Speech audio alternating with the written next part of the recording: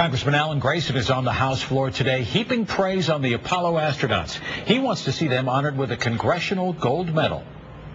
It's a wonderful memory for all of us and a tremendous testament uh, to the human spirit. Congressman Grayson hopes to have that bill passed through the House today.